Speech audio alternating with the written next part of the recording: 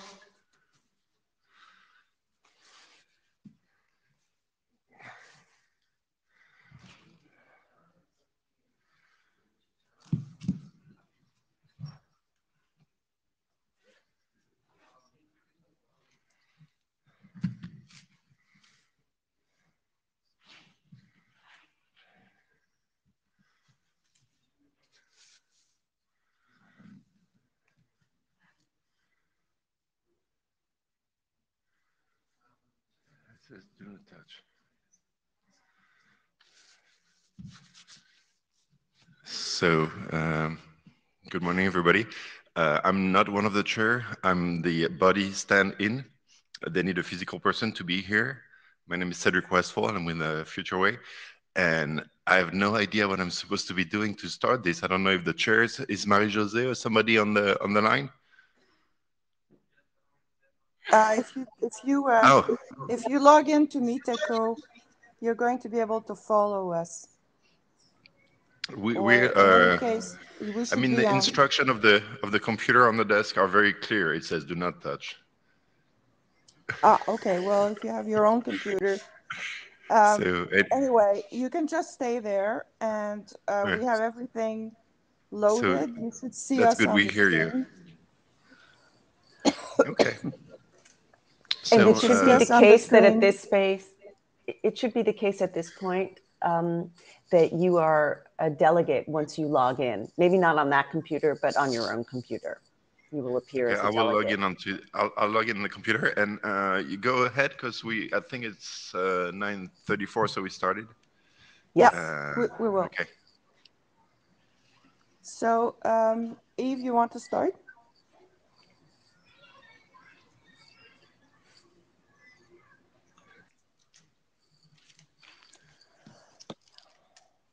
Okay, then I will start. Uh, okay, so this is um, um, the coin computing in the network.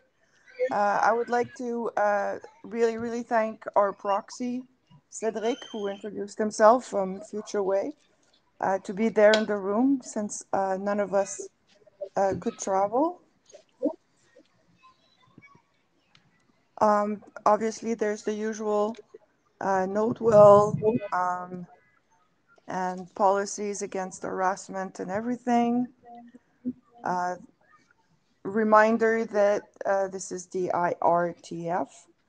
Uh, we do not do um, standards, but we do um, research, and you will see today that we have uh, very interesting uh, research papers presented, plus a number of updates and new drafts. Um, Jeffrey, you want to take over?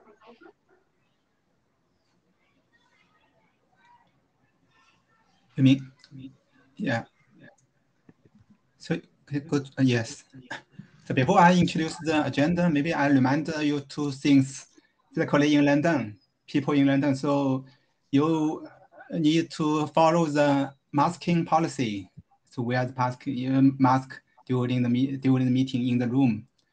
Second is that we maintain just one a single queue in the Meetecho. So if you want to go to the mic, please also join the queue in the Meetecho. So as for the agenda, so we have uh, three uh, research papers today to introduce. First, it will come from uh, Chang Gang from Oxford. He's the, from the team of Noa Zilberman. He will introduce some uh, lessons learned from their practical in-network classification implementation. And then second, Ike will introduce uh, their paper about the end-to-end -end transport layer. And uh, that they, he will discuss the very interesting topic related to end-to-end -end argument. And then Dave from TU Munich uh, uh, he, he is working together with Dr. Chosen. He will discuss the uh, DOT on uh, private, uh, provider network. And after that, we have uh, Pascal to introduce one new draft about the secure element implemented in the internet and how the data plane the programmable data plane can uh, uh, be used in this architecture. And if we have time, then we can discuss some future uh, of this research group. And there are some initial considerations from chairs and we can discuss. Yes, what did you say? Um, yeah, Eve, you want to continue now?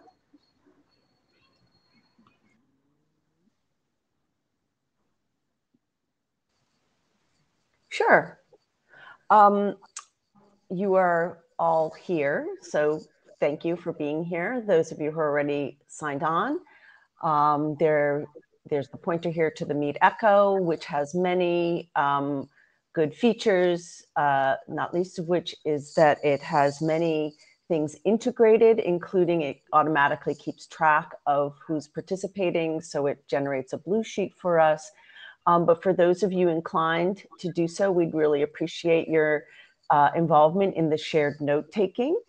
Um, and there's a uh, both a pointer here and then in the tool itself, um, there's an icon along the upper, um, along the top that also will take you uh, to the note taking, the integrated note taking.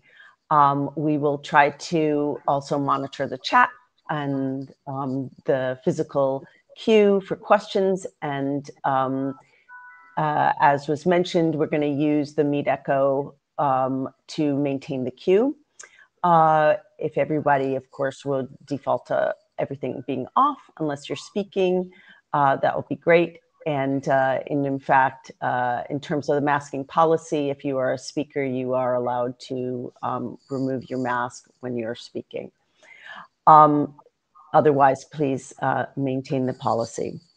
Um, uh, we welcome you to participate in our mailing list and um, you can, you know, to subscribe, we include the pointer here, but also welcome you to peruse the archives for ongoing conversation. And um, all of the materials for the session um, are available through the agenda page and through the link here um, as well as, again, if you go to the top icon and look for the folder, um, you can look at all of the materials and peruse them at your leisure.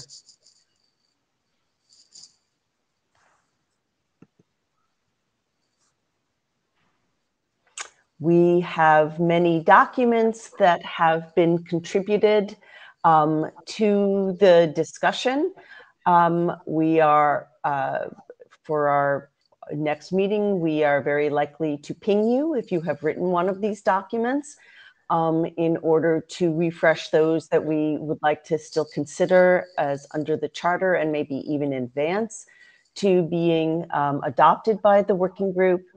Um, uh, but for today's session, we have um, one new draft that we will um, discuss uh, uh, during the session.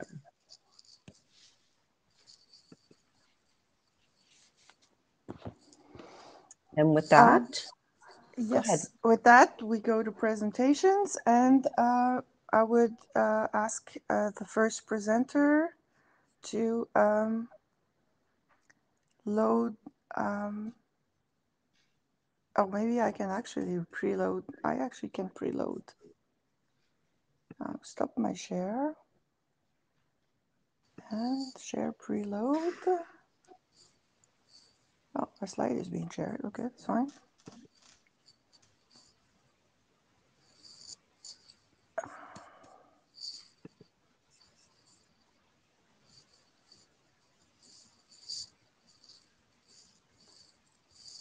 That's this one. No, that's not this one. Excuse me.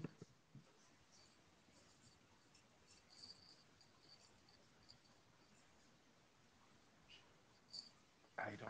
Uh, like, you cannot put anything I think all the slides were preloaded and now I can't find it's rebooting. the, You want me to share it for you? Uh, how to log in? I can't find the presentation of the first thought. No, here we go. I, Is that it? have an adapter, so I don't know how much battery I have. Which speaker are you? Um, the presenter from, from Oxford, could you please load your slides? Or share your slides? Because Uh, I, I can't find them. I can't find them on the Are you, preloaded. are you logged in on your laptop? But can't you share from your laptop? Yes. Then uh, but do this because uh, it's not. Uh, it's, I mean, The, the, yeah, the author, is, is the author on, on Meetecho? You could actually Right, load from So the slide. author, we, we're gonna is gonna uh, share from his laptop the presentation, I think, or, or do you have different? Because somehow I can't find the slides I'm just trying to on the log in preloaded Uh, material. There or over there, they don't have the slides. You didn't share the slides with them. Yeah. Did you? Yeah. No, Uh, do you have the slides, Marie Jose? actually, um, I, I, Yeah, I I, think I thought, this is the last, last one, the last one in the list. yeah, but if you look at preloaded material, I can't find them.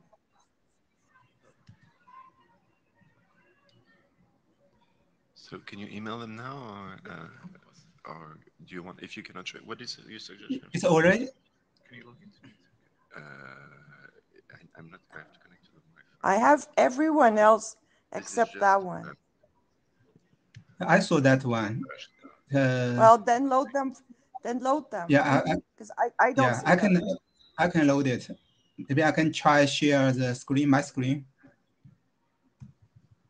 So it's, it's gonna take me a little time. I can. Can you log into He was in. Let me take off. You into me, take it.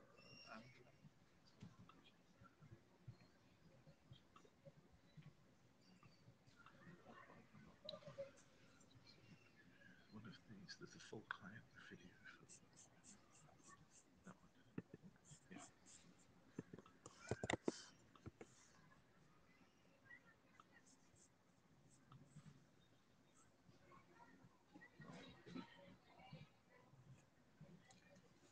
I don't think you need the devices though, because that's going to make some echo.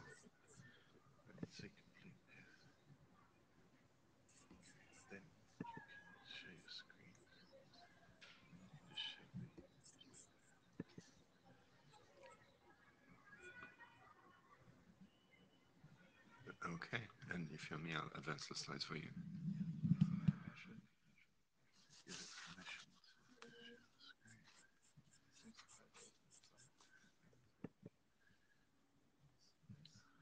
I see them on the data tracker, but on the uploaded material, um, I don't see them.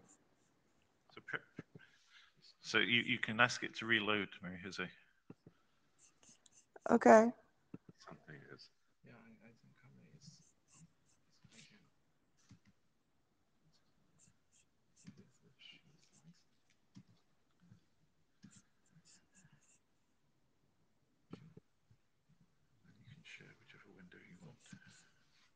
Are you, yeah.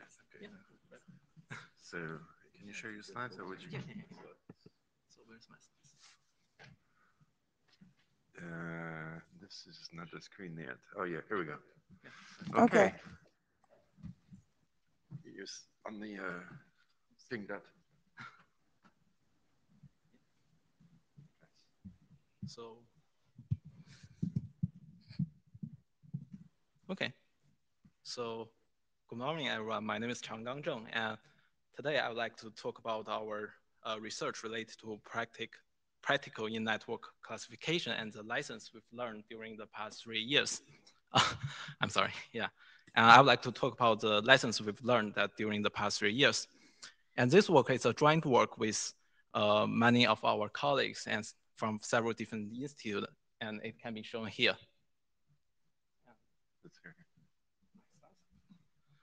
And beginning with 2019, we have be, uh, begin to do the in-network machine learning research. And at that time, we have a, a research named IIsy, which also named us to switch realm of machine learning. And this work has been pre presented in HotNets 2019. And it mainly demonstrates the uh, mapping of trained machine learning model to programmable network devices. And uh, for that work, it mainly introduced four type of machine learning models, which is decision tree, support vector machine, k-means, and naive Bayes. And for that work, it mainly focused on two type of target, which is BMV2 and net FPGA SIUM. And next page. And after three years, we have uh, many progress, and currently we have a work named Automating Network Machine Learning, and it provides us a Planter framework that can help us to realize end-to-end -end automatic uh, uh, in-network machine learning deployment.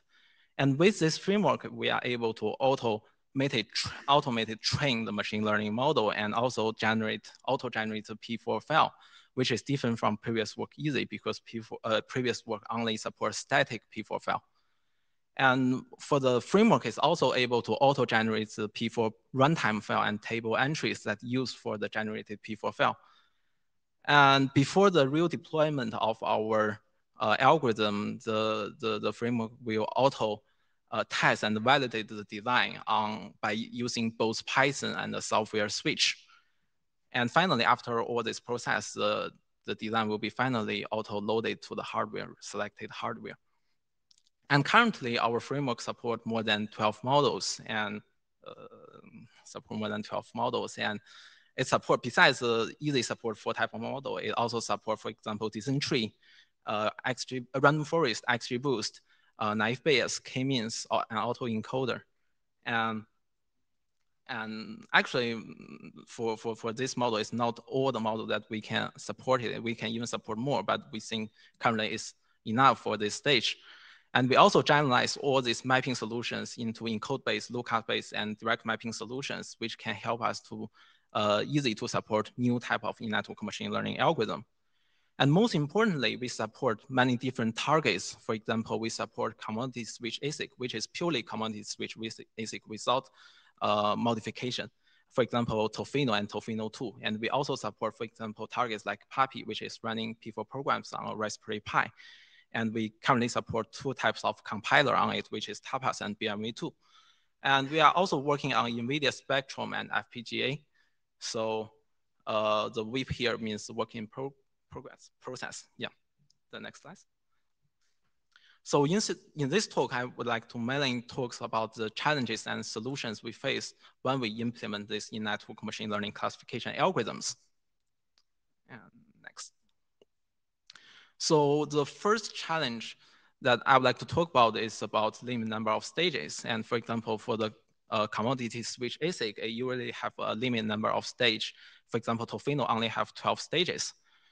And for this figure on the left-hand side, it mainly shows the uh, typical realization of this tree model in the data plane. And we can show that uh, for each steps of the tree, it generalized into different levels. And for each level, it will consume a certain number of stages. So which means that uh, for, for the data plane program with limited number of stages, it will uh, limit the depth of the tree model to be deployed. And our solution is use parallelization, which means that we can parallel execute the independent functions in our in-network machine learning classification algorithm. And yeah. And for example, for this ensemble tree models, for example, we can parallelly uh, use lookup table as feature tables. So for, for example, when feature inputs will be mapped to codes uh, for each feature. And then for the next stage, which are tree tables, and these tree table also executed parallelly. And for each tree table, it will just collect the input from each uh, feature table and just output the, either for the vote of this tree or the uh, probability or the depth of the tree. And in the third stage, uh, for the decision table, it will just uh, combine all the votes from previous tree tables and output the final classification result. And next slide. And the second challenge that I would like to talk about is about limited memory. And for the limited memory, uh, we have two types of solution. And first is use a more efficient mapping solution. For example, on the first figure on the left-hand side, we can see that uh, uh, compare for, for the k-mean solution compared to uh, for, for the IIsy implementation versus Clustreams implementation in terms of table entries consumption, we can see uh, IIsy solution use a static number of table entries while the Clustreams uh, table entries consumption increase in an order of magnitude uh, as the model depth increases. And for in terms of the accuracy, we can find that the IIsy solution is independent of model depth, while the uh, Clustreams solution is dependent with the model depth. This is mainly because the Clustreams use a tree-like structure to store the table entries, uh, while the IIsy use lookup-based solution. So under these circumstances, the lookup-based solution seems more efficient. And the next solution is about using, it seems a little bit obvious, is using, uh, we can use LPM table or ternary table or range match table to replace the table that previously used exact match. And actually, one realized it is not as simple as it looks like because it's not simply like using LPM in for, for IP table because the input of the match action table of in-network machine learning classification algorithm, as I mentioned in previous slides, is, for example, for the tree table, is a concatenated codes from the feature tables. So which means that we need to use our self-designed algorithm to map the uh, exact match table to either lookup based table, lookup table, uh, LPM table, ternary table, or range match table. And we can even use smart drop to further reduce the number of table entries in the, uh, in the table. So for example, we can just drop those less significant table entries. For example, there are some single table entries that are different from others that stop a large range of table entries from merging into a single LPM table entry. Then we can selectively re remove those table entries. And from the figure, we can find that we can reduce around 20% uh, of total table entries without significant influence of uh, the machine learning classification accuracy. And the next page. Uh, and also, when implementing in-network machine learning classification, we should also make sure that uh, it should coexist with the normal functioning of the uh, network device. So as shown in this framework, we have a Conven P4 block here, which can help us to uh, generate P4 file not only with the classification logic, but also with the use case. And this use case can be, for example, switch.p4, which is the L2, L3 reference switch. And it is designed by Intel Tofino and this program is commonly used as a reference program uh, for in-network, in-network computing algorithm. And actually our, uh, our, our in-network machine learning classification algorithm is parallelly executed with the normal, uh, this L2, L3 switch. And uh, it do not consume loads of resources. So when we compare our in-network machine learning realization, model realization uh, resource consumption of these models, we can see it's only 5% to 65% of this reference program. So which is uh, relatively small and makes it possible to coexist with the normal switch function. And also we can see the latency of our in-network machine learning algorithms. And we can find that uh, if we only implement the machine learning algorithm and and it shows in the pink bar, and we can see the latency is relatively small compared to this reference program. And if we coexist with the, the machine learning algorithm with, uh, uh, with this reference program, this L2 L3 switch, then for the, for the implementable model, we can see as shown in blue bar, the level of latency is same as the standalone reference program. Next page. Yeah, next. And so no matter how we, for example, we use mapping techniques or use LPM, different types of table, uh, types of table to reduce the uh, table entries to save memory, or we can do the parallelization to save stages. Still, we need to trade, uh, have, have some trade-off on uh, parameter selection when we try to use machine learning algorithm for in-network classification. And for example, for the, as we shown in this radar graph, so if we want to make sure that the uh, generated model have a same level of memory consumption, and for example, if we want to use more features, then the number of trees is uh, and depth is limit. And if we want to have more trees, then we can only use uh, a limit number of features. And or if we, we want to have a large number of depths, then the uh, feature and trees allowed is uh, limit. so uh, actually, when using this framework, actually we can play with it and and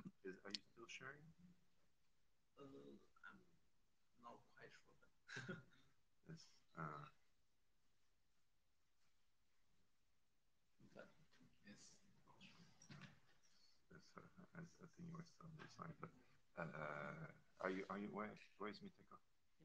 Here it's me. But it just stops. Presentation view? I don't know. Uh,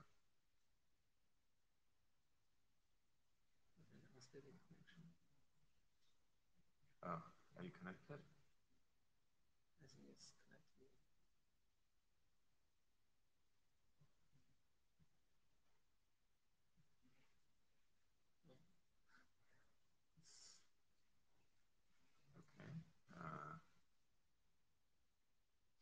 You stop and start again, maybe? Oh, you're not connected. You want to try to IETF network instead of Eduroam?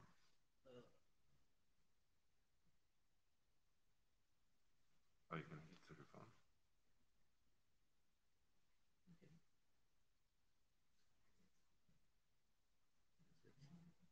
Is it back?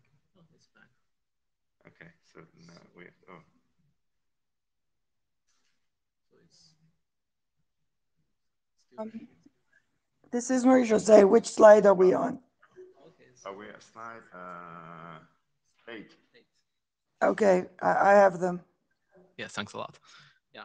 So actually, when you have the framework, you can play with it and based on the use case that you select, and you can select the set of hyperparameters that best, best have the best performance on your use case.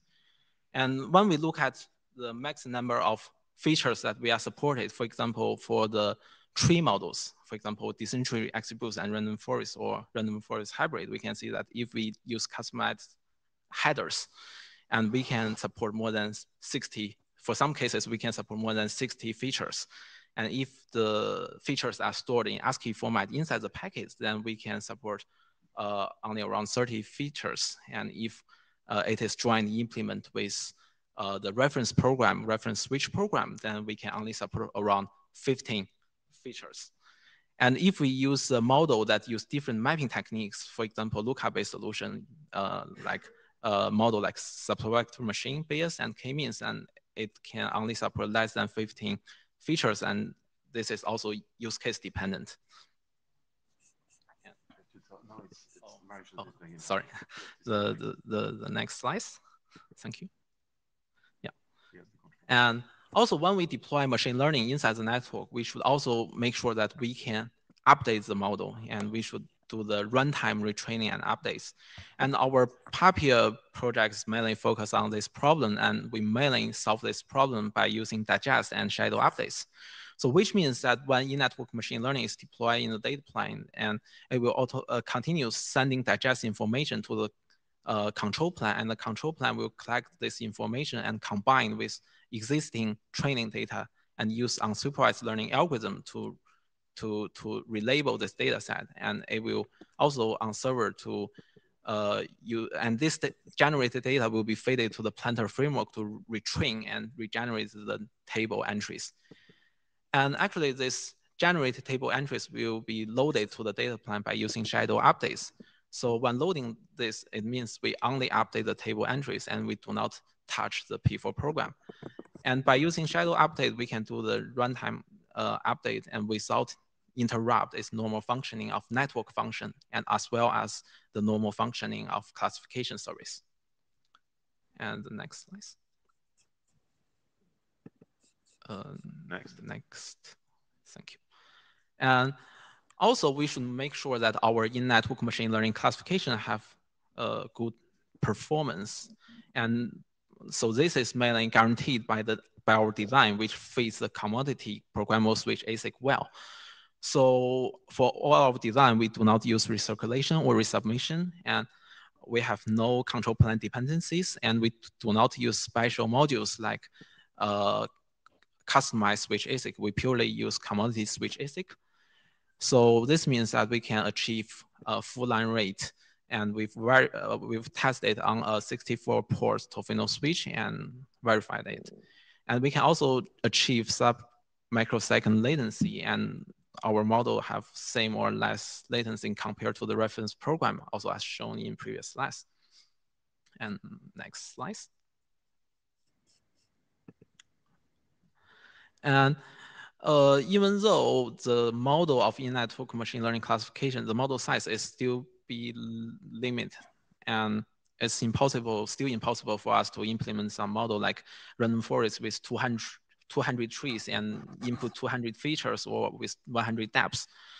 But what we can do is we can use hybrid deployment to uh, achieve a high inference accuracy. So which means the hybrid deployment means we deploy a small model inside the network in the data plane and we use a large model at the backend server.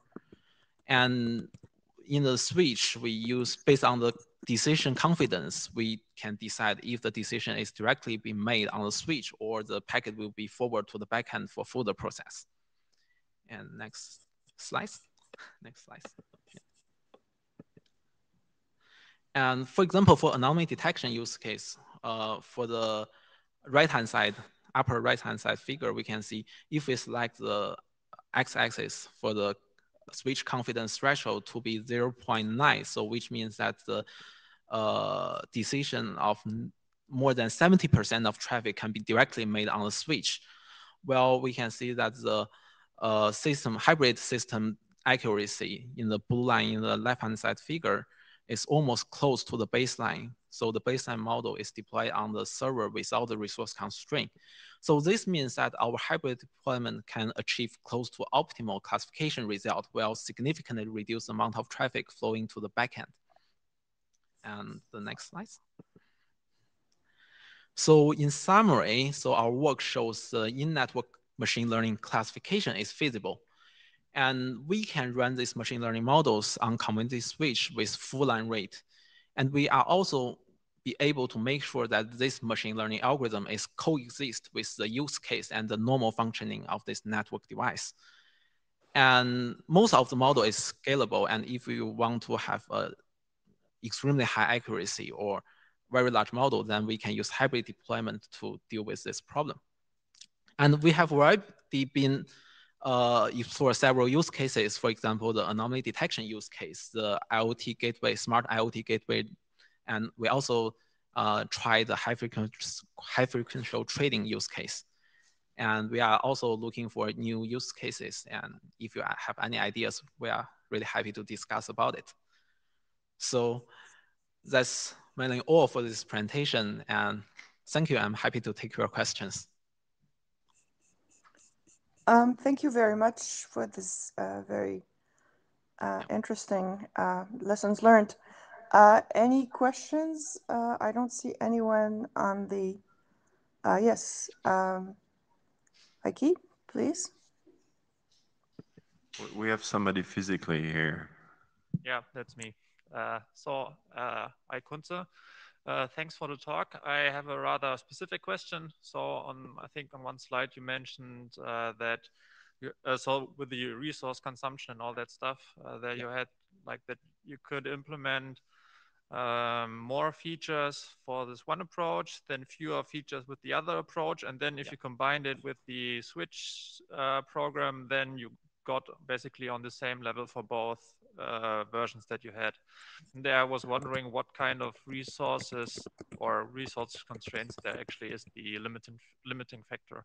Uh, or is it then basically the uh, sequential numbers of steps that have to be executed, or are there then specific con uh, constraints in, in, your program that, yeah, limit the number of features that you can implement? Okay. Thanks. So for the constraints, so actually for our solution of in-network machine learning algorithms, there are several type of constraints, and the most common one is uh, stage consumption. So if we increase either, for example, the number of features used or number of tree numbers, uh, I, I, just use random forest as an example. If we increase the number of feature input and if we increase the uh, depth of the tree, and if we increase the number of trees, then the number of stage will increase. This is because for each stage, there is a limit amount of supported tables. If you use more than this number of tables, then it will cause an extra stage, no matter how you parallelize execute, execute these tables. And also the memory is another constraint because, uh, for example, for some of the table, for example, uh, as I mentioned in the uh, the ensemble tree models, we can see there is a decision table and usually there, if there are too many trees, and the decision table will cause loads of memory. And if there are too much memory, then it will also cause extra stages. And also, uh, we can see that for, for if we use customized headers for the tree models, we can support more than 60 features. But for uh, ASCII, if the feature is stored in ASCII format, then we can only support 30 features. This is because uh, the parser also have constraints, uh, resource constraints, and we cannot uh, support unlimited amount of protocols or, or headers uh, in, in the header field. So these are the stage memory and uh, and and the header uh, and parser constraint are mainly constraints for our in-network machine learning algorithms. Of course, for the general speaking of in-network machine learning classification realization, there are more constraints. For example, uh, for, for most of the switches, they do not support, for example, floating point numbers, and they do not uh, support, uh, for example, some type of mathematical operations, for example, multiplication and division operations. These are other constraints. But our solution can, can, can just do not use these operations. Um, any other questions? Uh, we can send the questions on the list. Uh, I'm particularly interested, by the way, by the IoT implementation. So I'm going to read the paper for sure. Uh, thank you so we, very much. Oh, Marie-José, we have one more question in the room. Oh, one more, okay, because the person was not on the queue. Oh, okay, uh, thank you for your good uh, presentation and your good paper. So in South Korea, we had a similar project in that case, we uh, utilize the uh, deep learning, uh, CNN, RNN to classify traffic, and we found it works. So I'm wondering if you handle the new uh, traffic or new feature of the traffic, because, for example, hackers or some the uh, bad person make some new uh, traffic for violating the network. So in this case, how can you handle the, this new traffic or new feature over data? Uh, so which have type of data? I'm sorry. So, so you use the uh, machine learning. So it means that uh, it uh, uh, training data and find some the wisdom from existing data. So how about the new data or new picture, new traffic? So in this case, can you handle the same picture? Yeah, picture. Or picture. Uh, currently, we uh, didn't test the use case with features. But generally speaking, because inside the network, the feature is not, you know, for, for it's not packet level, but flow level, or, and also in the real use case that the, the you know, the, the, the, the packet will go through different route, routing paths. So that's the reason why didn't, we didn't touch it yet. But there is some work that I remember that using uh, decision tree and random forest and neural network for in-network classification that uh, have some explanation about how to deal with uh, how to do the image classification and you can try to find them. And i remember what they use is what they currently implement is only on BMv2 environment uh, BMv2 uh, software switch so this is my my understanding about the image Okay, thank you. Okay, um, for for uh, moving around with time. So thank you, thank you again, and uh, we'll um, make sure Thank to you. follow up and and great work. Um, Cedric, you want to share share the next presentation if you find it? Uh, uh, this is being shared. You, are you sharing? Uh, No, you're you're sharing.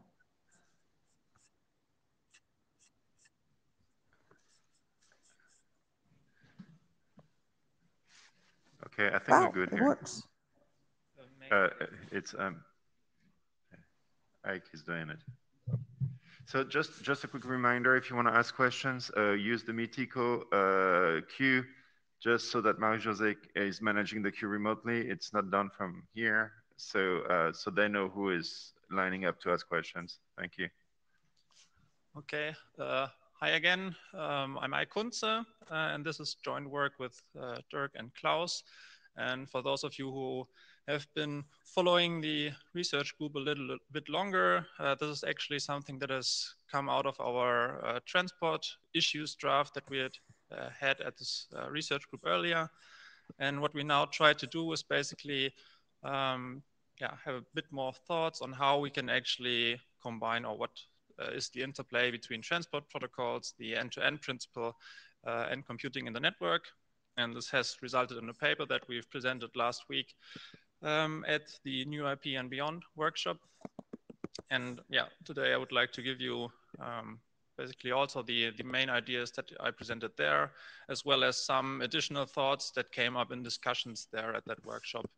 Um, so basically an improved version of the talk that I held uh, last week uh, in Lexington. Okay, um, I think in, in, this context where we're here, uh, it's pretty easy to say that we can see that the networks are evolving from being dumb networks to being smarter networks.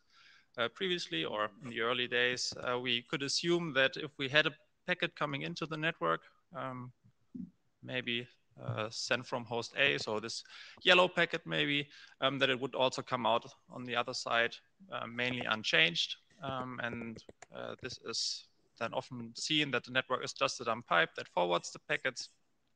And this is somewhat uh, encompassed in the end-to-end -end principle and um, is typically also used as a basis for transport protocols. So for example, uh, in TCP, when we think about the reli reliability aspects, it's simply that uh, yeah, TCP assumes that the packets are unchanged in the network. And now with COIN, this changes or this can change uh, as we can do more stuff in the network. So maybe change the color of the packets. Uh, and thus we can no longer speak of the network as being just a dumb pipe. And this also breaks then uh, assumptions for the transport layer and that we can now make changes in the network. And uh, this has already been discussed, for example, in the recent HotNets paper. So we are not the only ones thinking about this topic. Um, but what we now try to do basically is to think about a more general uh, or have more general considerations regarding this topic. So basically, uh, what we would actually need to have a coin enabled transport protocol that ideally also respects the end-to-end -end principle.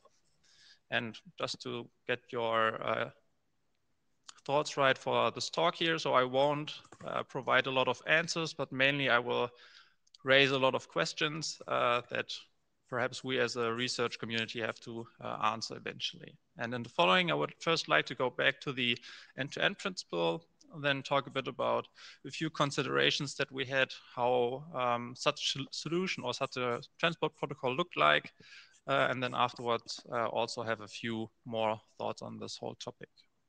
So starting with the end-to-end -end principle, uh, it goes back to a paper from the 1980s. So, bit, so the, this principle is actually older than myself. So um, probably uh, some people here in the room longer, uh, know it perhaps longer than myself. Um, and the end-to-end -end principle basically states that a function can completely and correctly only be implemented uh, with a knowledge of the end uh, of, of, the applications at the endpoints. So basically saying that the endpoints have to know what's going on inside the network as well. And this is then seemingly at odds with uh, the coin, with coin, uh, because um, yeah, in coin we would assume that something might happen in the network. Uh, however, there's also a second sentence, actually two sentences further down in that paper, uh, which then states that an incomplete version of the function uh, can also be useful as a performance enhancement um, if it's provided by the network.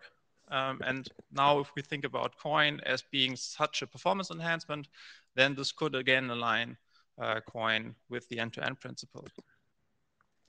And yeah, in this context, we then thought about or wondered a bit more about the relationship between coin and the end-to-end -end principle. And in that context, mainly focused on two aspects.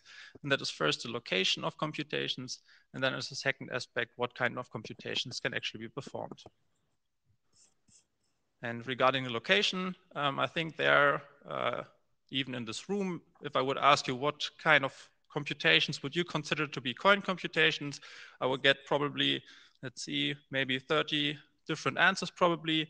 Um, so a strict definition of coin would be that we can, for example, only compute uh, or perform computations on networking devices. So really on switch hardware, uh, basically as we've seen in the previous presentation, for example. Uh, however, there are also more free definitions of coin. So basically seeing coin as a subset of edge computing or cloud computing, um, maybe only enriched with additional functionality in the network um, but basically having some computations between the hosts, uh, between the end hosts.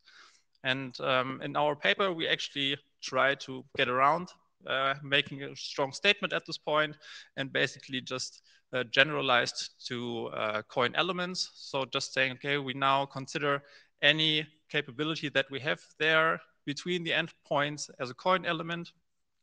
And yeah, it's up for anyone else to decide what exactly is now coin or not.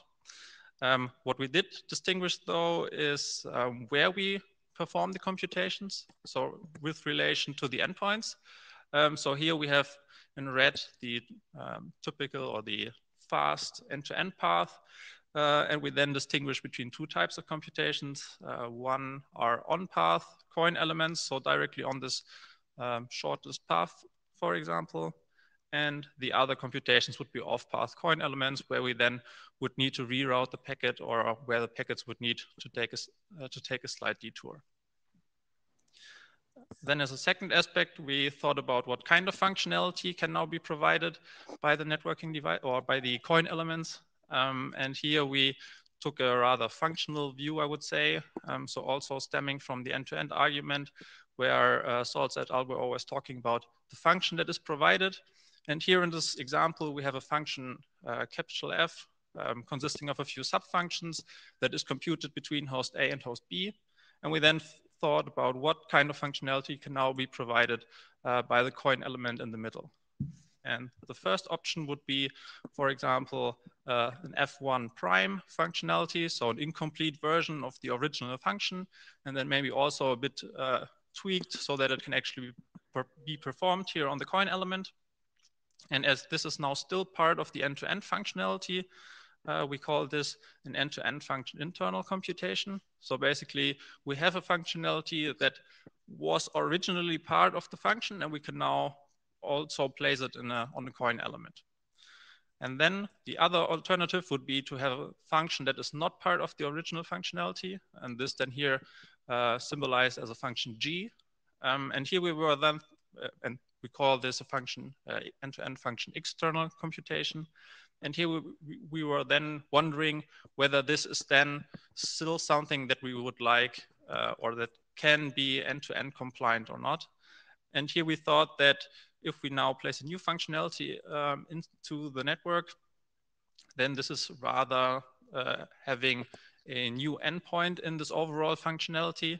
And thus we think that this is rather some form of edge computing or cloud computing, but not really coin, at least if we want to um, ensure the uh, end-to-end uh, -end, uh, principal compliant variant of coin. And with that being said, let me quickly summarize these two aspects. So what we think can be end-to-end -end compliant coin computations are end-to-end -end function internal computations that we can then either place on on or off path coin elements. And in the following, um, we then thought about how and where we could actually place such functionality. Uh, because right now I've only discussed a bit about the general aspects regarding these things, but not uh, how we would actually practically use this stuff. And there we basically came up with two design principle, uh, principles, as we called them. And the first one is regarding the location where we can place it. So considering we have here two locations um, where we could place functionality. So we have uh, F1 prime and F1 double prime. And then the question is, do we use F1 prime or do we use F1 double prime? And the first two aspects that we here considered are rather straightforward, I would say. Um, so we think that if we use additional coin functionality, then we should still adhere to the original requirements of the functionality. So basically don't break anything that has been working before.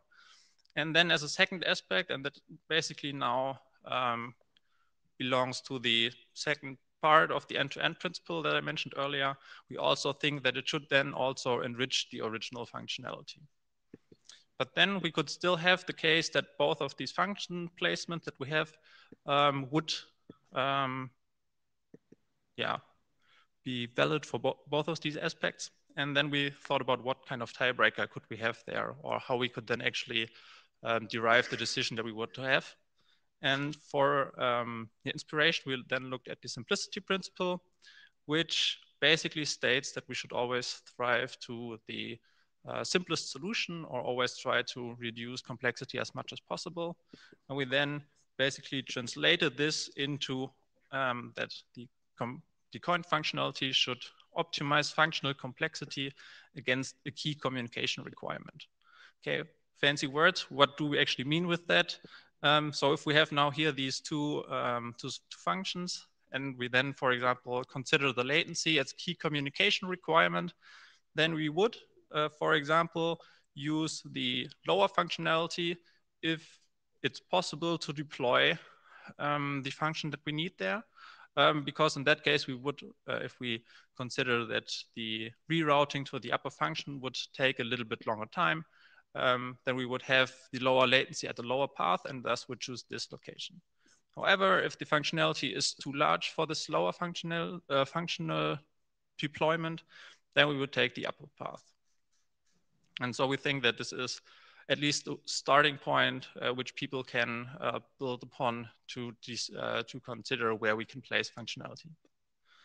We then also had a different um, view on this whole topic um, basically regarding the first part of the end-to-end -end principle, so the knowledge of the endpoints. Um, and here we again have the uh, overall functionality F, and now we place a new functionality in the network. So it's also an incomplete version of the function, uh, but we place it there without the knowledge of the endpoints. And in this case, it could very well introduce a lot of problems because now the endpoints are still computing the whole functionality, but there in the network, we also compute something of the functionality and then stuff can break. Uh, and I think uh, performance enhancing proxies, for example, are an example where um, placing something in between the end hosts without the knowledge of the end hosts um, yeah, which is an example where this has caused problems before. And thus we think that a second design principle in this context would be that we should always insert the coin functionality uh, in, transparent, in full transparency to the endpoint so that they know that something's going on uh, in between them. And with these design principles then also in mind, we then thought about considerations for the transport protocol. Obviously, mainly coming from our previous work that we collected here in the context of this research group. Um, and why did we actually choose uh, the transport protocol? Well, it's a function that is traditionally implemented in the endpoints only. And it's also the one layer that is uh, translating from the network to the applications. So it will also be the layer that is affected by any changes that we have uh, induced that are induced in the network. And in this context, we then uh, considered several aspects. So in this paper, we focused on addressing. So basically, how can we choose which function or computations uh, to execute in the network? Um, as a second part, flow granularity. Um, so deciding, do we need a stream notion as, for example, in TCP, or are we um, okay with a datagram notion as in UDP? And then finally, also more evolved communication concepts like collective communication, so basically not only having two endpoints in the communication, but a few more of them. And for today, I would like, or yeah, for today, I would like to focus on the addressing part. And if you're interested in more details on those three aspects, uh, have a look at our paper. I will also have the QR code in the end, so um, you can scan it then. Uh, and also we have still our now expired draft where we even consider more aspects than only uh, those three. Okay, then starting with the addressing. Um, so typically, even if a host A wanted to communicate with a host B, we then add basically some kind of tag to the packet uh, in the form of an IP address and a transport, a transport protocol port to address a specific application. Um, and now the question is, how can we do this if we want to have a function f1 prime somewhere in the network? And the first option that we have is some form of implicit integration. So we actually don't really um, address it explicitly, but just place the functionality somewhere in the network. So in this case, we would uh, try to guess maybe where the packets will go and then place the functionality strategically on this device so that the packets will actually be processed by that computation. Um, so this works in a lot of cases, especially in smaller networks. It's actually also something that is typically used for research uh, prototypes. So I've done that myself in quite a lot of projects. Um, however, if we now scale up the networks, then at some point this becomes really hard to maintain. And especially in some networks, we don't even know where packets really go. And thus it's really tricky to do this to do it this way. And additionally, it also only allows for the on-path notion uh, of COIN as we yeah, just place the functionality on path. So off path is not possible. Um, yeah, the second option is then an explicit steering mechanism. So here we then really uh, apply some kind of tag to the packet to, for example, say, okay, we would have, we would like to have the F1 prime functionality up there.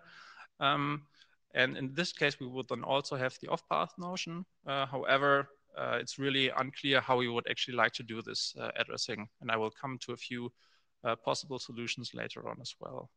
Um, but this is then really something that we, we need to think about uh, how we would like to implement this. Um, and then assuming that we have some form of addressing, um, so mainly perhaps focusing on the explicit addressing for a moment, uh, if we then have two different um, locations where we have functionality, then we would might want to decide which kind of uh, these or which of these two functions we would like to execute. And um, there, then the question is, how would we like to do this? So would we like to always specify the exact location? So for example, say, okay, we would like to have the upper F1 prime functionality. Uh, do we only specify some kind of constraints? So for example, saying we would like to have the one with the lower latency or with other requirements, um, or can't we as an end host uh, do anything about it, but just let the network handle it and the network decides uh, which function is selected? Um, so there's really, I think, a large spectrum of possible solutions or um, answers to these questions. Um, so as I said, we mainly raise questions and don't answer them. So quite a lot of them here. And then if we have some form of instance selection mechanism, then we might also want to keep affinity to, those um, instances. Because for example, if we would like to build up a certain level of state at some point, yeah, then we would always want to go to the same um, service instance at that point. And here then the question is how do we actually realize uh, this affinity? Uh, do we set that up already during an orchestration phase before we actually have the first computation? Is this done on the fly? Um, so again, a lot of questions that arise here. And I think in the paper we uh, raise even more of them. So if you would like to read a lot of questions or get a lot of uh, yeah, ideas for questions, then have a look at the paper. Yeah, then maybe trying to summarize this a bit. Um, we also had a look at existing solutions uh, because obviously there's a lot of internet technology already out there that might be applicable to, uh, to these problems. Um, and one uh, is, for example, the source routing. So here we can, as an end host, already um, define which path we would like a packet to take through a network. However, it is not directly something that we can use for defining the functionality. So for example, considering that we might have different functions on one device, uh, that we would need yeah, multiple IP addresses, for example, for each of the functions that we have, um, which might become quite a lot. Uh, however, there is service function chaining, which allows already for steering traffic th through functions. Um, so if we now interpret coin as some form of network function or service function, then this might be applicable. Uh, and similarly, we have information-centric networking as well, where um, we now address information rather than endpoints. And thus, again, if we now interpret coin as some form of information, then the, the, these might also be uh, applicable um, concepts. So overall, uh, I would say there are many possible solutions to the many questions that we've raised, uh, but I think, um, yeah, these questions are still open, so we haven't provided any concrete answers for that. Um, and I think the main takeaway from our paper is that there are ways in which coin can be aligned with the end-to-end -end principle, um, but we then have to really carefully think about what solutions we actually pick for all the questions uh, that we've raised. So, and this is the part that was basically the same last week uh, as well uh, at the um, UIP and Beyond workshop. And now maybe something more provocative that uh, was discussed in the context of that workshop. Um, so there were actually also, was an other talk there as well. So um, this Tintin um, protocol. Um, and we then thought about um, yeah, how would you actually um, do this in practice now? So we've raised a lot of questions regarding transport protocols, um, but we now see already that there are two rather specialized protocols. And the question that we then discussed was, yeah, do we now want to have one global protocol that basically solves the end-to-end -end principle problems of coin? Um, so basically having yeah, the one transport protocol that we need for all the applications? Or do we rather have a lot of specialized protocols for different limited domains? Um, do we then have perhaps a couple of core features? So basically a core protocol that we then uh, extend for the different specialized domains that we have there.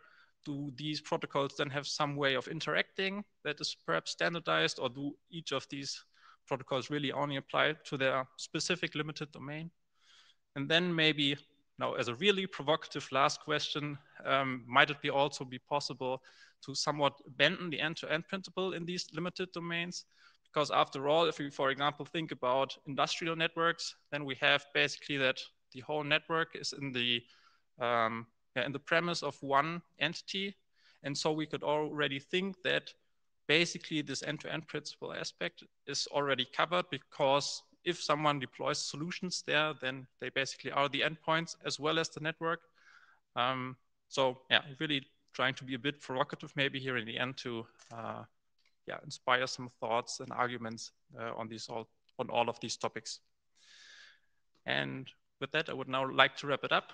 Uh, so in the beginning, I showed you why uh, many people think that coin is at odds with the end-to-end -end principle. Uh, but then I hope that I've shown you a way or uh, way of thinking about it, um, how we can align these things again. Um, so with the end-to-end -end function internal computations, both on on and off-path coin elements. Um, we then talked about two design principles for coin. And then finally, uh, I had a brief discussion about considerations, at least for the addressing part. And as promised, here are the two QR codes. And now I thank you a lot for your attention and I'm happy to have uh, a discussion with you or to hear your comments on this. Thanks. Thank you. Um, you raised a lot of the questions that uh, we've asked ourselves in the past uh, few years. There's three people on the, um, uh, actually now four people on the queue. Dirk, you want to start? Yes, uh, my pleasure. Um, hey, Ike, um, nice presentation. Um, you are raising many um, questions here. I think this is a um, very comprehensive approach that you um, uh, present here. And I was thinking you are probably making your life unnecessarily hard. So, um, so the question, so you know, how should you design this, or what should be the services by certain protocol? Really depends a lot on what you want to do, and um, I think it's really hard right now to, um, you know, um, conceive an um, hypothetical um, you know coin protocol without actually knowing what you want to do and um, so this the end-to-end principle discussion is a good example for that. So um, i mean these principles were um, formulated with, with a certain goal. And um, so they might not necessarily be the same goals that you have when you think about computing in the network. So when your objective is to build an internetwork based on packet switching and statistical multiplexing, um, yeah, then you need to think about um, um, the, the um, control power of the end systems. Um, so to enable different kinds of applications, transport functions, and so on. And um, so this is a model that fits very well to the internet and to IP and so on but for computing in the network, um, so we don't necessarily um, um, have the same goal, and that means we don't necessarily have to um, constrain ourselves by by these principles.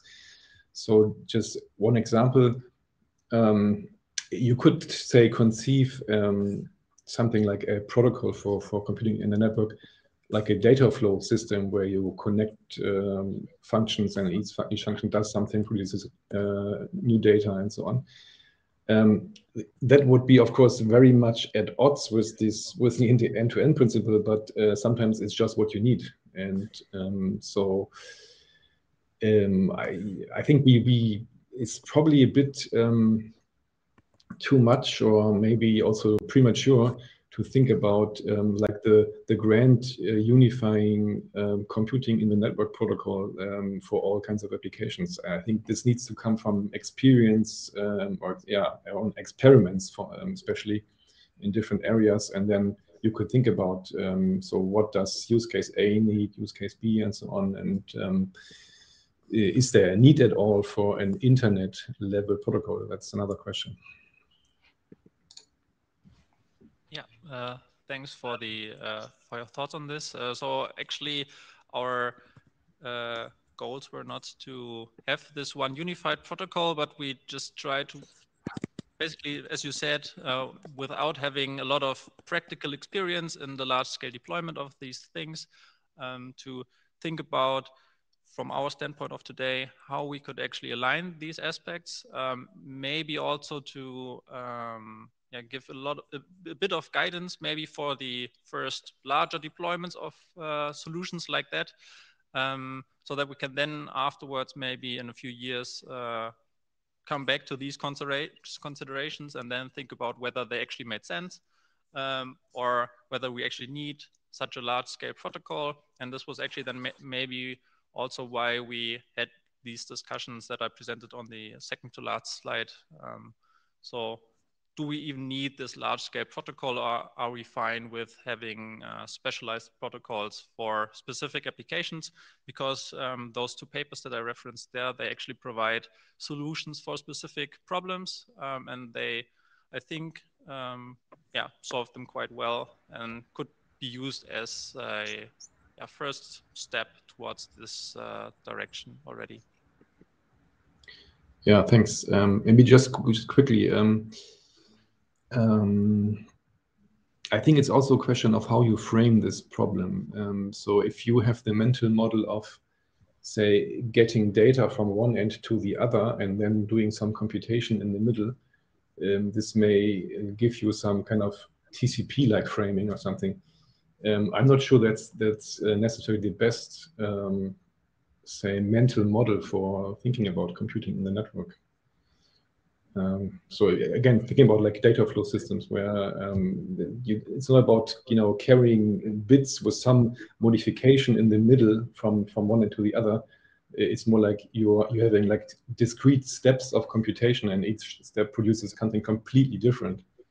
And um, so maybe then this this this whole connection or transport um, metaphor is not not exactly helpful. Yeah, definitely. Okay, thanks. Um, next in the line is is Roland. Yeah, hi. Thanks. Uh, I, I, like the approach to, to try to think about how to maybe more align with the end-to-end -end argument. Um, to me, the end-to-end -end argument has has basically two advantages if you apply it. One is the robustness because you have less less functionality inside the network. So one aspect is maybe to think about how those partial functions influence or may influence each other. So that that could be I mean, there could be some kind of interdependencies or side effects that should be avoided. I don't, I, I didn't read your draft and, and, and all your work, so that's kind of new to me. Um, so maybe you, you discussed that already. Uh, the other thing is innovation, uh, protection of innovation, or I mean, the, the argument is, is it, it's hard to change the network. And when we have functionality in place that allows that, like P4 and what have you, um, that's maybe not the, let's say, obstacle anymore. Uh, that it, it, it, when when it was uh, the time of writing the end-to-end argument, or um, but robustness is the thing we should care about, and uh, so it would be good to to think along the lines, um, trying to to not break things. Uh, one more observation. Uh, when you were talking about uh, addressing, I think it complicates things a lot if you require applications to have knowledge about your network. So one thing is that the network tries to figure out what's um, what should be done uh, in, in, order to support the application. But another aspect would be to, to require that the application has uh, some, some knowledge of uh, where to locate the functions or where to invoke the functions. And I think this is maybe not the good direction to do that, right? Because it makes things more complex. And I can remember discussions here in the IETF where the application developers said, um, please, um, no, don't do that yeah, thanks a lot of. Uh, so that's a, a lot of uh, interesting thoughts. Uh, maybe to quickly answer to a few of them. Uh, so regarding the, the robustness aspects or the interaction between the functions, uh, I'm not sure if we have actually included it in the paper, but at least in the draft, we discussed stuff about this. Um, so for example, regarding um, retrans, so basically having retransmission, or if we would like to have some kind of re reliability, maybe um, how would we then handle, for example, if we have two or three functions and then the packet get lost, gets lost after the second function uh, and we've already changed state in the first and second function maybe, how can we actually handle this? Um, so we have at least I think discussed these problems uh, uh, in essence and as I already said we mainly raise questions and not pro uh, don't provide much answers but that's a very valid point um, and then yeah, I actually have lost the track of the other aspects, but maybe we can discuss that also offline. The, yeah, the other aspect was uh, addressing and requiring applications to have knowledge about uh, functional support in the network, which yeah. complicates application writing and, and makes yeah, it exactly. complex also on the other side. Not only complex in the networks on the network side, but also on the other side. Yeah, exactly. That's why we've basically discussed these different uh, possibilities that we have there. Um, and I think the so at least the uh, source routing aspect would would require knowledge by the endpoints to route it through there, while the um, yeah if we do the, the information-centric networking aspect maybe and only know we would like to have this functionality, then this would of course then again reduce the, the complexity. So of course there are different, that's why I said we have different solutions and we now have to think about which we would actually uh, like to deploy. Uh, but I think your considerations there are really helpful in that context. Um, we have two more people in the queue. Uh, Lars? Oh, it's Lars. Let me jump in. This is Andy Reid. I'm sorry I couldn't work out how to raise a hand on the on the on-site tool.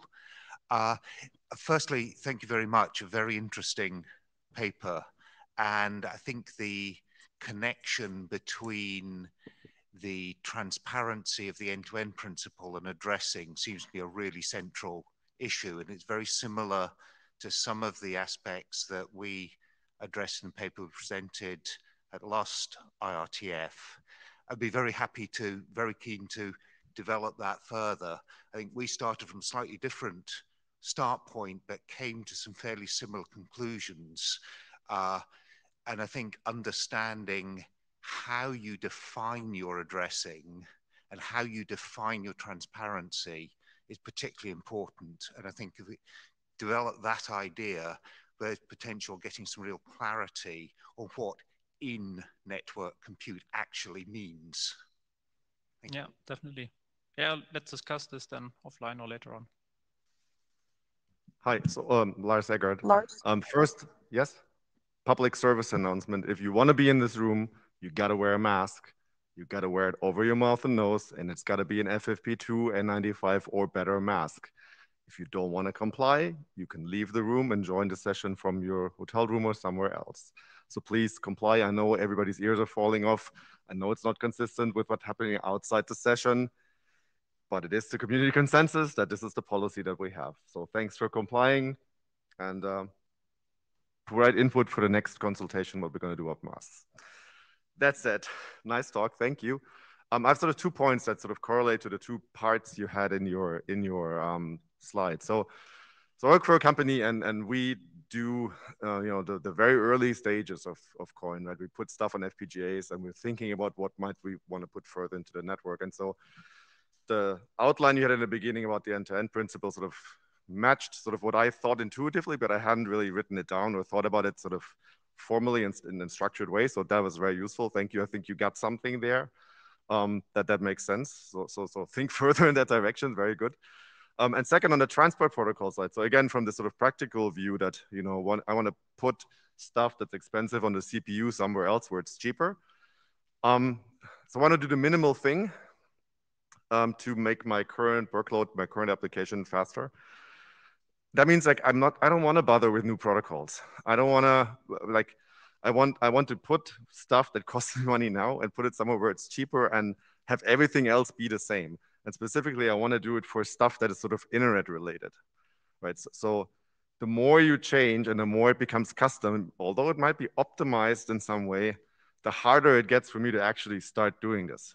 And so so since this is the IRTF, which is close to the IETF, I would sort of encourage people to maybe think about the low hanging fruit that is sort of easy to get to, provide a bunch of benefit already, and that sort of move us into that direction where later on we might be able to pick up some things. I do understand it's research. I do think that's where the hard problems are, that lets you publish papers, so excellent. But for sort of us here that try to think about the IETF, the things that we can deploy soon are much more interesting to me. Thank you. Thanks. Uh, Erik Nordmark, yeah, I really like the, the, the last, sort of going. I would say last but not least. Oh. Yeah, Erik Nordmark. So I really like sort of going back and thinking about the stuff in terms of what, what are the implications and sort of framing it the way we've done it. One thing I didn't see here, which ties into robustness, is this notion, the, the issues around state in the network, right? And and the sort of fate sharing aspects we have when all of the session transport related state lives at the endpoints. Um, so it might be useful to, to, to add that to the sort of list of things to consider in this picture. You raised an interesting question about sort of uh, a common transport protocol, whatever that means in the co this context, right? As opposed to something specific. I think we already have examples where people are proposing things that you might argue are not really compute, but there's this thing, things called in in-band inline OAM, where your compute is just extracting state from the, the routers as you pass through them, right? So you can actually now measure things in more interesting ways. But but it's sort of we have that at one end, we have ICN at the other end, right? Uh, what what are the things? What is from a research perspective? Sort of ignoring Lars, you know, we would like to deploy something tomorrow, but but you know, what's the sort of spectrum over there, right? Uh, I think that's something that's interesting to consider, continue to explore. So.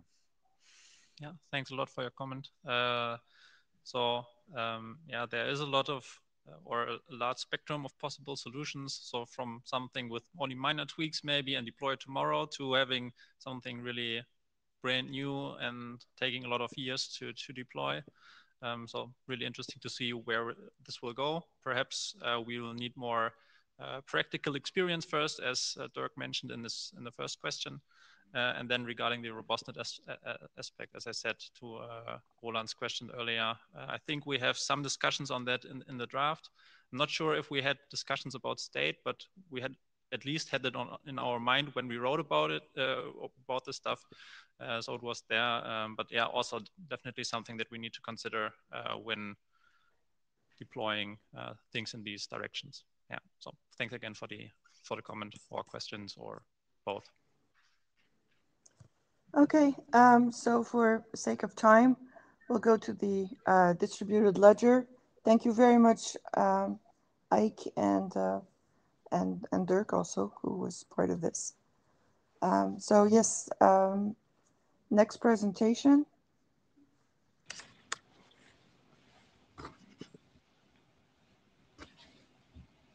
Um, Cedric, remote, you right? want to load them or you want me to load them? Uh, can, can the speaker is not here, so it's is it remote or? Um, yeah, I'm, I'm talking today. Hi, everybody. I'm David and, and, or David. David, can you share the slides or you want me to, uh, or to share uh, I, I, I will actually do it. Thank okay. you. Yeah. Um, so, uh, hello, everybody. Thank you for uh, attending this session. So, I'm talking today about insights on the impact of the DLTs in provider networks. It's a joint work with Dirk Trossen, Mike McBride, and Xin Fan. Xin Xin. Um, next slide, please. So we have been working before already. So we published in this IAC white paper um, some some related material. We started with a simple experiment trying to measure how was uh, uh, the DLTs behaving over internet. We realized a sort of uh, passive measurement. We did some basic analysis, and we also wrote this, uh, this draft that is, is published there. And the upcoming paper has a little bit more analytical and structured analysis. We compare with the studies and is about to be published. Next slide, please. Um, so for sort of understanding on a high level, um, how these permissionless distributed consensus systems are thought and uh, how the designers thought about this, how to approach the permissionless approach. They take basically the so-called distributed hash tables that um, are nothing else than a place where uh, where files are, they host and receive content. And the goal for these distributed hash tables was um, in the beginning for to decentralize and distribute a file system, a network file system in a permissionless fashion over a faulty network. Then over these um, network files, someone can agree on the status in a state machine. So the goal here on the distributed consensus systems is to decentralize and distribute uh, state machine in a permissionless fashion as well over a faulty network. And after that, it came the distributed ledger technology that is nothing else than a consensus-oriented system that is agree on distributed content. Uh, it resembles a voting system, and it often uh, execute a consensus on a replicated ledger, and currently is built over internet scale based on peer-to-peer -peer networks. Um, so uh, next slide, please. we identify in these systems these three basic interaction. We call it DLT service interactions, where a client, for example, commits a transaction or a request to the distributed consensus system. A miner on another peer can commit or uh, found block um, or the truth uh, as a voter in the distributed consensus system using previously discovered clients. And any client at the end can read the block how these interactions are realized. And next slide, please. Um, actually, we identify a key mechanism to realize these interactions. It's the so-called atomic broadcast. And for the case of these large scale system, this atomic broadcast is randomized over a set of receivers, mainly to avoid possible collision of parts of a stable receiver set and to ensure distribution of ledger information across all over all, all over the peers over the time. It copes with the permissionless um, approach, but also deals with the scale nature of this uh, distributed system and is built, as said before, as a peer-to-peer -peer system on top of IP networks using UDP, TCP, and QUIC. Next slide, please.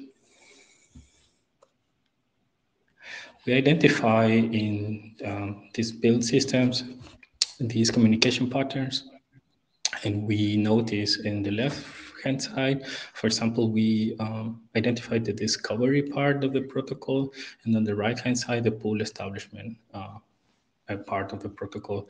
The pool is necessary to uh, execute the randomized broadcast, as said before, that is the key core mechanism to diffuse information over the entire system to agree on the state of the of the of the system. And the discovery part starts with a load of bootstrap nodes from a list of DLT peers that is hosted on specific um, IP addresses all around the world.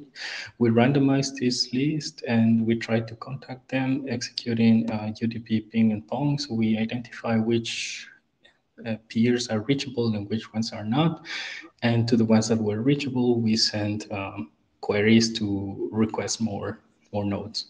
With these uh, nodes, we again randomize um, this list of uh, DLT peers to establish uh, upper layer communication, um, something based on TCP transport security. We execute capabilities exchange, and we end up adding this peer uh, to the pool that we are going to use for executing uh, broadcasts or try to execute uh, broadcast in the entire system. Next slide, please. So what is challenging, what is challenging about this? Um, we identify mainly cost for pool maintenance, for example. Uh, peers uh, need, as I said before, to continuously establish and maintain this reachability information, to discover new peers, and to send information about uh, the latest state of the blockchain. Um, each peer needs to maintain uh, constantly changing this pool, so it means that it's always constantly uh, exchanging information about signatures, uh, TLS, TCP, and um, session in general. Um, we identify also cost for resilience and reliability, um, how the failing nodes are causing latency on the pool establishments, hence is um, also delaying the distributed consensus and for the case of DCS and content retrieval for the case of, of uh, distributed hash tables. Um, we also identified the timeouts that are inducing removal of peers and that causing uh, the replenishing of the pool. As well, we identified that matching capabilities in, in these peers at the scale is very costly. Um, and we as well um, identified the unicast replication uh, for the DLT to work. And as well as um, some issues with the IP address privacy, because when you try to join these networks, your IP address is exposed to the entire system. Next slide, please. So we set up um, um, a, scale um, uh, experiment and we classify the peers that we look, we compare, and we also identify some geographical distribution, we identify some centrality things. But for today, we are exposing more network-oriented results, and we will start with pool establishment. time. This is the time that a single peer from a local computer will uh, use to build the pool of peers that is willing to broadcast information to.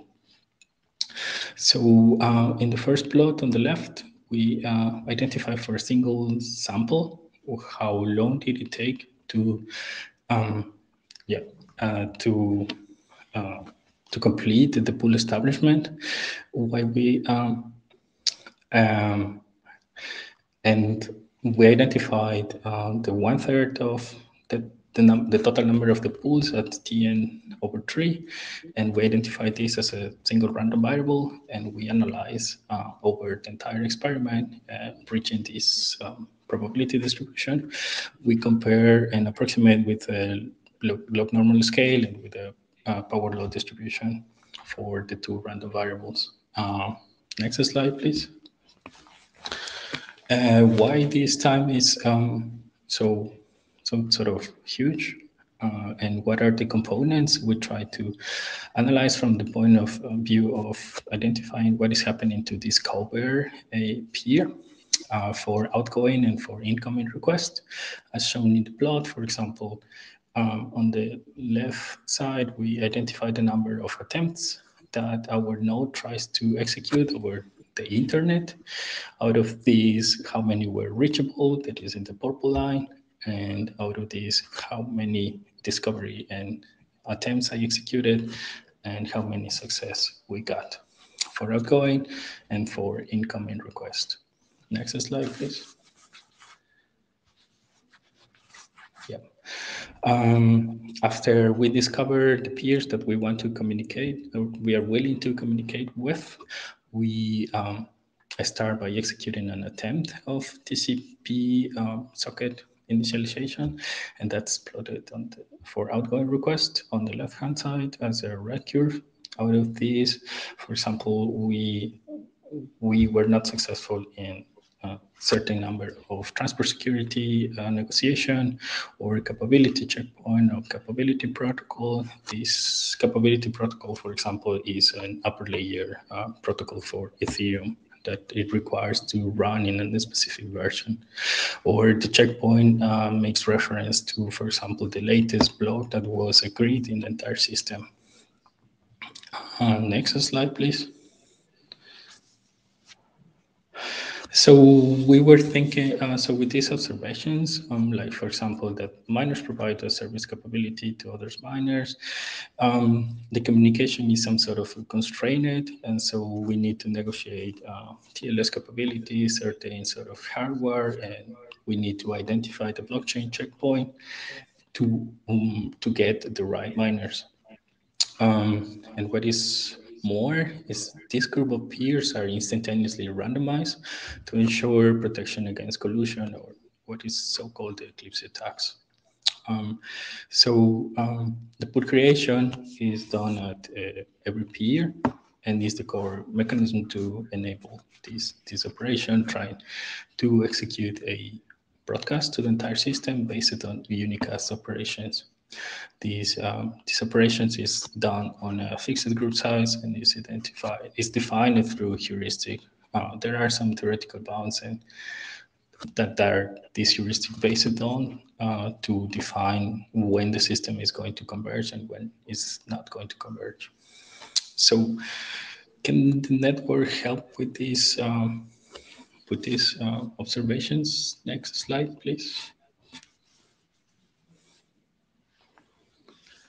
Um, so we think, for example, that um, no, the previous slide, yeah, um, uh, that programmable in-network compute capabilities can help with realizing some uh, some of these aspects that I just showed. Like, for example, use a service-centric abstraction um, where miners are service instances to DLT to a DLT service, the routes become a pool of service instances to enable instantaneous randomization uh, on the endpoint. Um, the reachability can be improved through uh, the encoded constraints or in, in, in, a naming structure, and we can replace the randomized unicast with a forward multicast capability that is built in the network for a fixed site of, of, of peers. Um, we can ensure as well that every request leads to a randomized set of peers, uh, which excludes the use of IP multicast. Um, some thoughts are very welcome, some, some questions as well. I'm happy to discuss and take your questions. Thank you very much.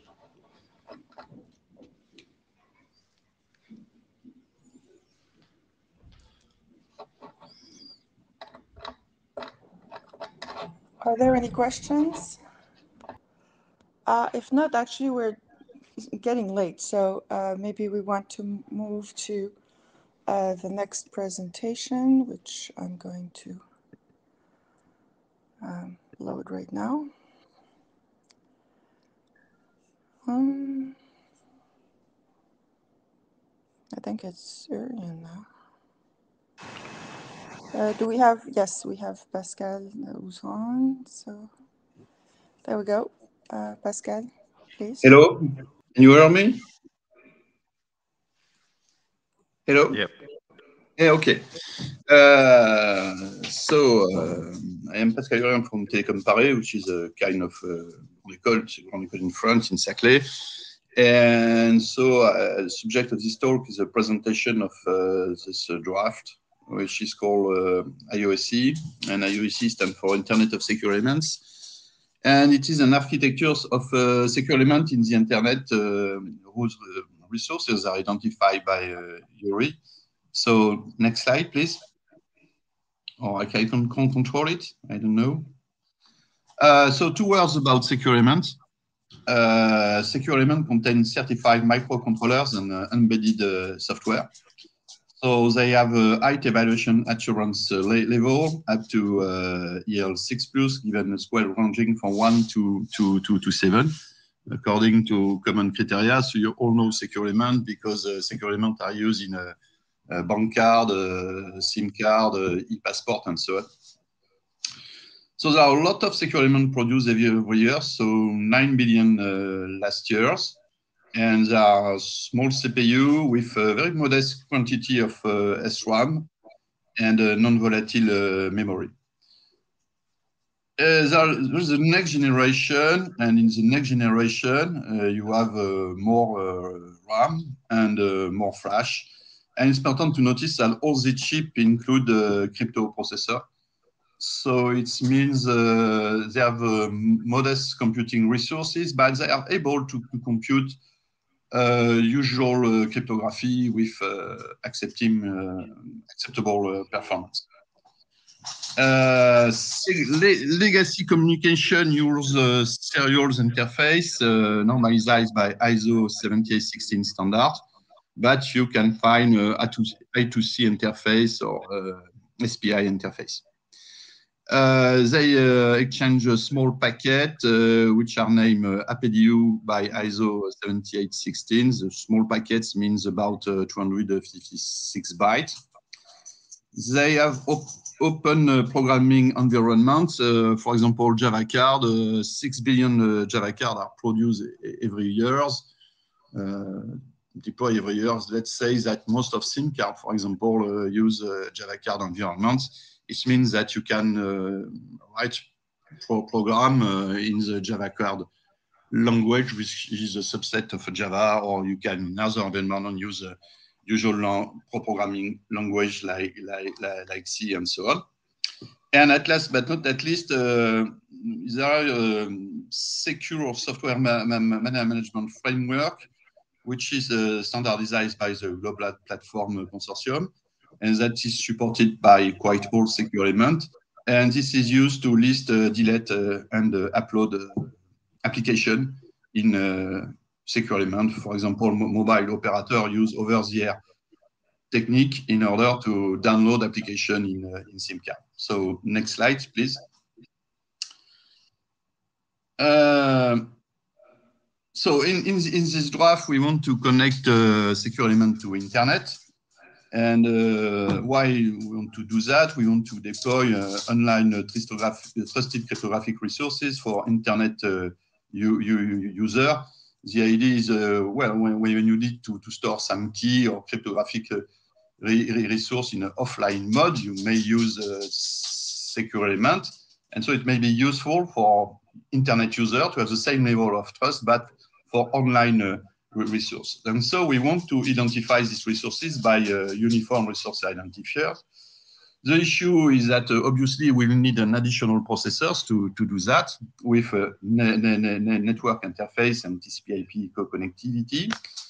Uh, we need to support global platform for on-demand application. It's not mandatory because you can uh, use a pre-loaded application. But uh, for on-demand application, uh, infrastructure, the user will ask the provider to download a new application in a secure element. So we, we need this, support. Uh, we need a protocol to access to secure element uh, re re resources. And in this draft, we, we, we chose basically TLS as a protocol for user interface, service interface. We need to define secure element naming in order to identify this uh, secure element over internet. And uh, we need an attestation procedure for on-demand application.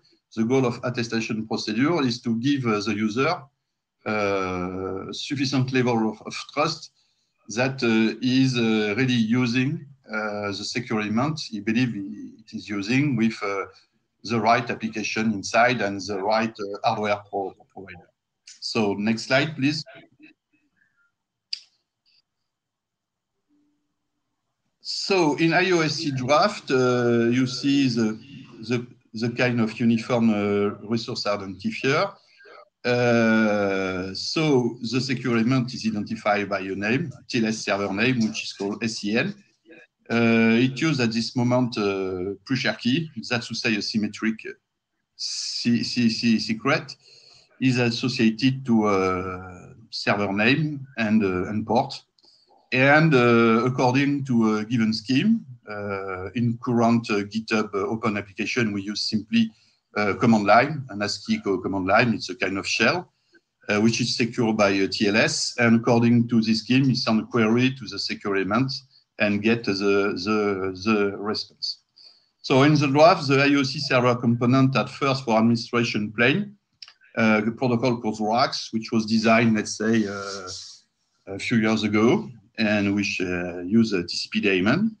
Uh, for the server plane, we use uh, TLS uh, for secure element, which is TLS server 1.3 with pre-share key and and Diffie-Hellman exchange for, for computing the share secret. And this use also TCP daemon. And the attestation procedures make uh, the staff need to transfer the element control to, to, to user. So it relies on two properties. First, secure element cannot be cloned. And second, they manage uh, only one uh, TLS session at a given time. So next slide, please. Uh, so this is a short uh, review of uh, the administration plane. So RACS basically is something that works over uh, TLS using certificate, both for server and client. It's been it's a PKI it's a PKI uh, model. And so uh, is able to transport uh, ISO 7816 packet. And in order to and use something called secure element identifier, which can be, for example, a slot, a physical slot, on a, an I2C address or a name. And uh, because the RACS transport uh, ISO 7816 with policy access, uh, it is able to uh, transport a global platform uh, protocol. And so it is able to, to, to, to perform uh, the delete and upload uh, application operation in, uh, in secure elements.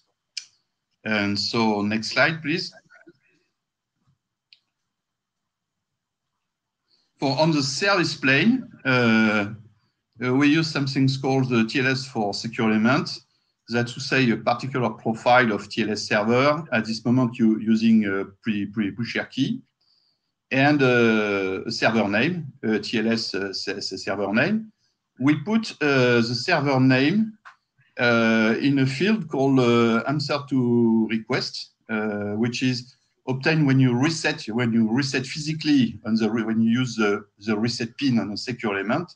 You collect some things called an answer to request, and uh, there are some API to to put uh, in, this answer to request. You have something called historical bytes up to 15 bytes, and uh, you have some APIs that enable you to put whatever you want in the historical bytes. So really at this physical level, uh, we put the server name. And so after we define an interface to transport TLS packet over ISO 7816 interface. So there is a client uh, facing server. And this client facing server, according to uh, server name indication, finds the client hello uh, the server name of uh, the backend server. And so if uh, this server is present, the secure element is present on, on the system, afterwards it route incoming and outgoing packet to and from this TLS backend server. And uh, on the client side, uh, you can uh, to, to access. So on the client side, as you see on this diagram, uh, everything is based on TLS and TCP. It means there is no, it's pure uh, network interface. And you may use some identity module in order to compute the procedure uh, re re required by the uh, pre-share key uh, used in uh, TLS, but it is not mandatory. So next slide, please. And finally, this is the on-demand application illustration and uh, attestation, sorry. So you, you see on, on, uh, on, the, on the left, you have the application provider, and on the right, uh, the user. And uh, in the middle, the IOSE server, which is the infrastructure that uh, hold the set of secure elements. So first, uh, the application provider use RACS to download application in the secure elements and then it binds uh, the secure element name to the secure element identifier. And uh, at this step, uh, the secure element has an application, and this can, application can be uh, remotely used as a TLS uh, server. And it stores the pre-share key de defined by the application provider. When this application starts in the secure element, it creates a pair of public and private key and the public key is the identity of the secure element. Then afterwards, through uh, TLS PSK, the application provider deliver reads the public key of uh, the component and deliver a certificate and send uh, the pre-share key of the component and uh, the server name of the component to the user. The user open um, a TLS connection with this component with the public key. It checks the certificate. And after it uh, verifies that the secure element both uh, know the handshake secret of the TLS uh, co co connection and the public key. And if uh, the secure element uh, knows these both parameters, it means that there is not a man in the middle because only one TLS session can be managed at a, at a given time. And because the secure element cannot be cloned, it's the only component uh, that uh, stores its uh, this pair of public and, and private key. And at this level, the user can modify the pre-share key. And so it's mean now it's the only uh, user, only entities that can uh, remotely connect to this uh, secure element. So next slide, please. So at this moment, uh, uh, all this is uh, uh, available on uh, GitHub. Uh, there are no patents, and and all the code at this moment is, is open. so there are code for TLSSC for Java card. this code works with many Java cards. Current level of Java cards that you can buy on the internet is uh, 3.04 or 3.05. This is the level of the Java card API. So if you go to, to GitHub, you, you will find this implementation that works quite, should work with most of Java card component of the, of the market. And uh, as a scheme, as a syntax, it simply use a command line. So it means uh, when you want to create a key or to perform signatures, you just open a TLS session using OpenSSL and whatever you want with the secure element. And uh, you just uh, send a command line, uh, create key or sign and whatever. Uh, the code source of the server is uh, at this level, at this moment is v5.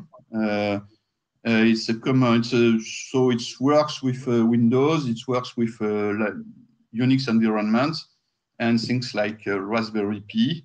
And this is an open implementation of the server that includes the two TCP IP daemon, one for RACS and one for TLS.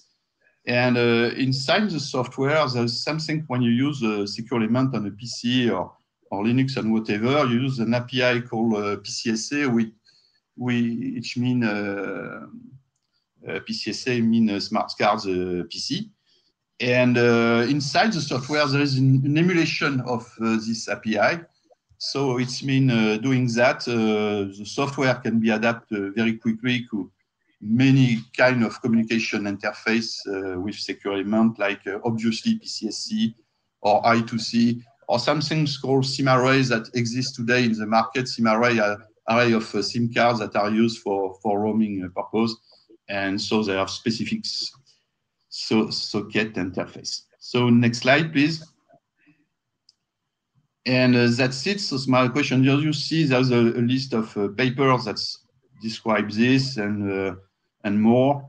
And uh, because you, due, due to COVID and due to the fact that most of conferences were online this last time, uh, there are video on YouTube that uh, explains the, the, the, paper and give illustration of, of the process and so on. And so my hope should be that this, this, this draft uh, be, become a working group item. I believe it's open, it's some things not it is in the, I believe, uh, it is in the scope of uh, the COINRG group. And, uh, and that's it. I am done. Thank you.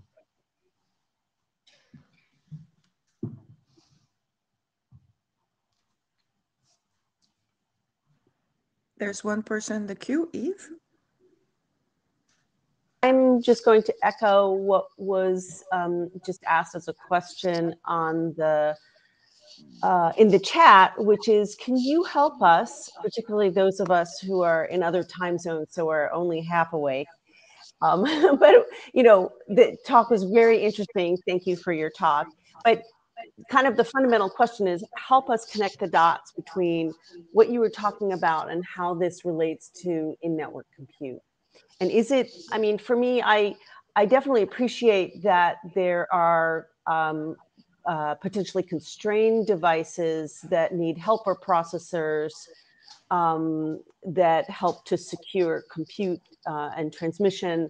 Um, but I'm not sure if that was sort of how you would connect the dots. So can you can you help explain to us how um, more pointedly this relates to coin?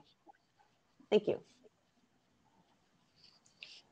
Well, the when we use a security mechanism in the networks, uh, uh, when you compute uh, cryptography, I'm thinking to the previous um, presentation, for example, that was speaking of, uh, of, of, blockchain issue and so on. Uh, when you use cryptography in the network, uh, you used to have some safe place to store key and uh, compute uh, cryptographic procedures. And uh, as it is today, uh, when you want to do that, you could use stuff called hardware secure module in, in, in the cloud, for example, but uh, let's say that uh, at the user level, uh, you have no trust insurance about that. And as it is today, you have no open features. so the the relationships to, to coin is that when you need some this is a way to deploy uh, some secure procedure in, in the internet. So each mean each time you, you need to to do some things, to perform authentications, to, to perform signatures, uh, this could apply. And with some open stuff, it's not so simple to, to get open stuff today and uh, provable stuff. It means what is important with secure elements is are they have some uh, EL level, and this uh, level are certified by a national security agency, usually managed by governments. And this means this is your root of trust. And uh, there are manufacturers manufacturer from that, and you have many standards that uh, apply to, to, to, to, to this kind of component. So by nature, you have a lot of, of this component. You have 10 billion uh, secure element uh, deployed every year, so it's very huge. And uh, the level of trust, uh, everybody knows that it's not so easy to hack a banking card uh, with a chip inside. And so if you do that, you, will get some, some money, but in the reality, this, not happen. It's very difficult to download the software in a, in a bank card. It's very difficult to recover the card, the, the, the keys that are stored in, in bank card. And so re relating to COINRG, it means uh, it's a way to have a procedures, computing pro procedure hosted in the internet with, uh, I believe, uh, uh, not so bad level of security and trust for the user. Thank you. Looks like we have another person in the queue and um, in the interest of time, perhaps we need to take that to the list. Um, Emmanuel Baccelli, uh, if you don't mind uh, submitting that either in the chat or to the list or both.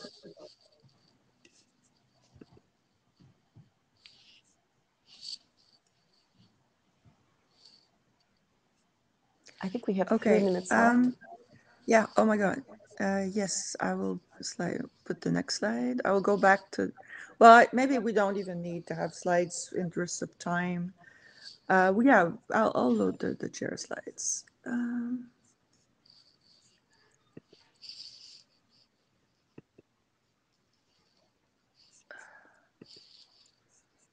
okay. Um, we're at the last slide.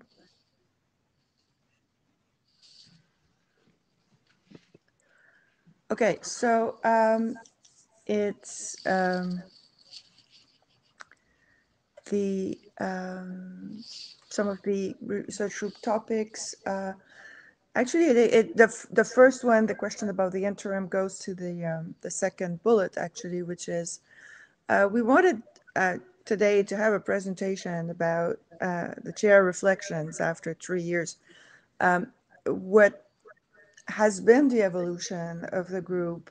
I think today we had, uh, you know, some uh, presentations that went back to the original intent, which was like looking at transport, looking at security.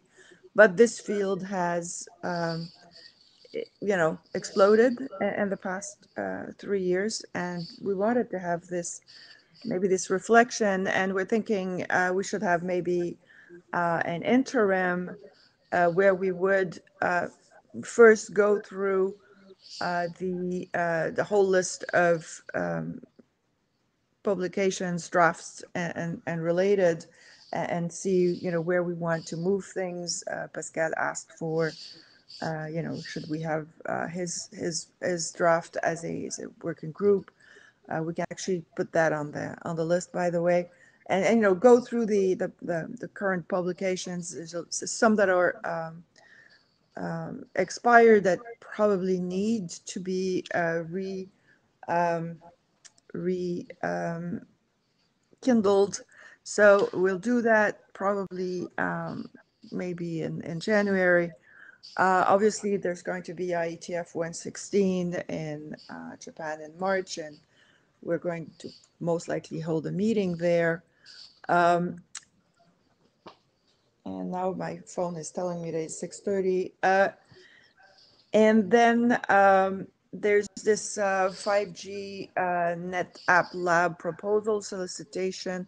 There was an email on October 25th, which is a 5G, um, um, I think it's an EU project. And I looked at the program at HotNets next week, and there's a number of interesting papers that are um, related to this community. Uh, and we're out of time, and we're going to send Eve to bed, which is like 3:30 a.m. local time for her. And uh, thank you so much for attending. We had a bunch of people online. We had a, pe- a bunch of people in the room. Uh, thank you for people who presented in particular. Uh, thank you for your dedication, for taking the time to do this presentation. Thank you for the people who asked questions, uh, because that shows that you follow what's going on, and it's really great. Thank you very much for Cedric to have been our proxy uh, in the room, and uh, thank you so much for having done that. And uh, thanks to Jeff, but Jeff, for you, it's uh, it's in the well, it's early, early, early evening now, so you're probably okay. Uh, thank you, everyone, and uh, we'll uh, have this interim, so we'll probably see you remotely sometimes in January. And um, thank you, and have a good rest of uh, the week. Thank you so much. Thank you very much, Marie-José. Thank you.